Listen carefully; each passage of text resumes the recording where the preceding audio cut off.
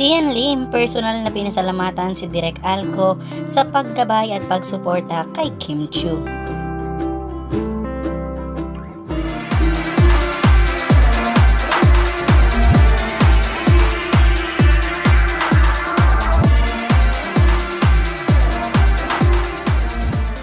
Bongga dahil one year na nga si Kim Chu sa It's Showtime at siya ay nabigyan upang magkaroon ng isang pasabog na fraud performance.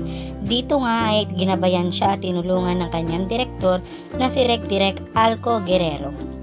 Very sweet ng photos ni Direk kay Kim Chu dahil tuwan-tuwa sila matapos ang talagang napaka-intensive na practice.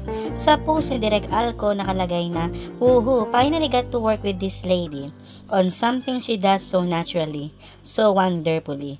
Congratulations Kim on your Showtime anniversary, what a performance! With triple hearts at naitag pa si Kim Chu. Very happy si Direk Alco na nakatrabaho niya si Kim at gayon din naman si Kim. Pero isa sa very thankful ay ang boyfriend na si Sian Lim na personal ngang na-message at pinasalamatan si Direk Alco sa paggabay kay Kim Chu gayong hindi niya ito masamahan. Sabi ni Sian, Direk Alco, happy and grateful that you're there, Rekti. Seeing your picture together made me smile knowing someone will be there for her with a red heart.